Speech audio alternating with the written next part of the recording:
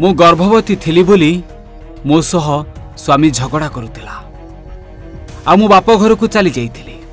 ହେଲେ ସ୍ୱାମୀ ଏପଟେ ଦେହ ସୁଖ ପାଇଁ ଗୋଟିଏ ସତର ବର୍ଷର ଝିଅକୁ ବାହା ହୋଇଗଲା। ଆଉ ତା ସହିତ ଜୀବନ ବିତେଇବ ବୋଲି ନିଷ୍ପତ୍ତି ନେଇଗଲା। ହେଲେ ମୋ ପାଖରେ ଏବେ ଦୁଇ ଦୁଇଟି ପୁଅ। ମୁଁ ଯିବି କୁଆଡ଼େ କେମିତି ବଞ୍ଚିବି? ପିଲା କଣ? ମୋର ଦିଟା ପୁଅ। ସାନ ପୁଅକୁ ଛଅ ବର୍ଷ ହେଲା ବଡ଼ ପୁଅକୁ ଏ ସାତ ବର୍ଷ କମ୍ପ୍ଲିଟ୍ ହେଇକି ଅଗଷ୍ଟରୁ ଆଠ ଚାଲିଛି। ପଢାପଢି କଣ କଲେ? ପାଠ ପଢାରେ ବ୍ୟାଘାତ ହଉଛି କି? ହଁ ସାର୍ ମୋ ବାପାର ବି ଗରିବ ଘର। ପିଲା ବି ଖାଇବା ପିଇବା ପଢ଼ାପଢ଼ି ସବୁ କିଛି ଅସୁବିଧା ହେଉଛି ନା ସାର୍ ମୁଁ ସେଠି ରହୁଛି ବୋଲି ଆଉ। ସେଇଥିପାଇଁ କହୁଛି ସାର୍ ମୁଁ ଏଠି ରହିବି। ହଁ ଆଜ୍ଞା। ଆଠ ବର୍ଷ ତଳେ ବାହା ହୋଇଥିଲେ ଦୁଇ ଦୁଇଟି ପୁଅ। ତଥାପି ସ୍ୱାମୀର ଇଚ୍ଛା ଆଉ ଗୋଟିଏ ନାରୀ ପାଇଁ। ଆଉ ସେଥିପାଇଁ ସବୁବେଳେ ସ୍ତ୍ରୀ ସହିତ ଝଗଡ଼ା କରୁଥିଲେ। ଆଉ ସ୍ତ୍ରୀ ଯେତେବେଳେ ଗର୍ଭବତୀ ଅବସ୍ଥାରେ ବାପ ଘରକୁ ଚାଲି ଯାଇଥିଲେ। ଠିକ୍ ସେତିକି ବେଳେ ସତର ବର୍ଷର ଝିଅ ସହିତ ପ୍ରେମ ସମ୍ପର୍କ ଆରମ୍ଭ କରିଦେଲେ। ଶାରୀରିକ ସୁଖ ପାଇଁ ଦ୍ୱିତୀୟ ବିବାହ କରିଦେଲା। ହେଲେ ମୁଁ ଏବେ ଯିବି କୁଆଡ଼େ? ଏଭଳି ଅଭିଯୋଗ ଆଣି ଏବେ ଘର ଆଗରେ ଦୁଇ ପୁଅକୁ ନେଇ ଧାରଣାରେ ବସିଛି ସ୍ତ୍ରୀ। ଯୌତୁକ ପାଇଁ ଏମାନେ ଯେବା ନେବା ପାଇଁ ଆକା ମୋତେ ଯୌତୁକ ପାଇଁ ଆକା ଆଙ୍କେ ମୋତେ ହଇରାଣ କଲେ ଖାଇବା ପିଇବା ଦେଲେନି ବାଡ଼ା ପିଟା କଲେ। ରାତି ଅଧରେ ଦାଣ୍ଡୁ ବି ଝିକିଲେ। କବାଟ ବନ୍ଦ କରି ରୁମ୍ରେ ରଖିଲେ। ଏମିତି ହଇରାଣ କଲେ ବାଡ଼ା ପିଟା କଲେ।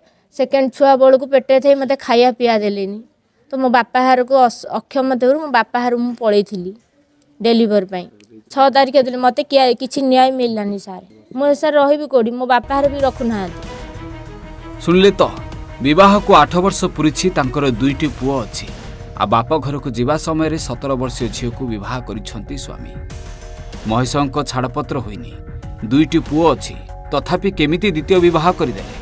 ଆଉ ବିବାହ କଥା ଜାଣିଲା ପରେ ସ୍ୱାମୀର ଘର ସମ୍ମୁଖରେ ଦୁଇଟି ପୁଅକୁ ଧରି ଧାରଣାରେ ବସିଛି ପ୍ରଥମ ସ୍ତ୍ରୀ ପଦ୍ମିନୀ। ଆସିକା ଥାନାଠାରୁ ମାତ୍ର କିଛି ଦୂରରେ ଆସିକା ବ୍ଲକ କଲୋନୀରେ ଜଣେ ବିବାହିତା ମହିଳା ପଦ୍ମିନୀ ନିଜର ଦୁଇଟି ପୁତ୍ର ସନ୍ତାନକୁ ଧରି ସ୍ୱାମୀ ଘର ଆଗରେ ଆଜି ଧାରଣାରେ ବସିଛନ୍ତି। ସୂଚନା ଅନୁସାରେ ସାନ ଖେମୁଡ଼ି ବ୍ଲକର ଡେଙ୍ଗାଡ଼ି ଗ୍ରାମର ନିରଞ୍ଜନ ପାତ୍ରଙ୍କ ଚଉତିରିଶ ବର୍ଷୀୟ ଝିଅ ପଦ୍ମିନୀ ସ୍ୱାଇଁ ଗତ ଦୁଇ ହଜାର ପନ୍ଦରରେ ଆସିକା ବ୍ଲକ କଲୋନୀର ଲକ୍ଷ୍ମୀ ସ୍ୱାଇଁଙ୍କ ପୁତ୍ର ମହେଶ ସ୍ୱାଇଁଙ୍କୁ ବିବାହ କରିଥିଲେ।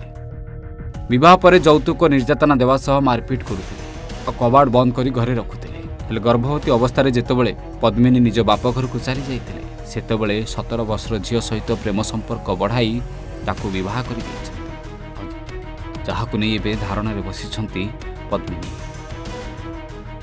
ସାନ ଖମିଣ୍ଡିରୁ ଶଙ୍କର ସ୍ୱାଇଁଙ୍କ ରିପୋର୍ଟ ଓଡ଼ିଶା ଭାସ୍କର।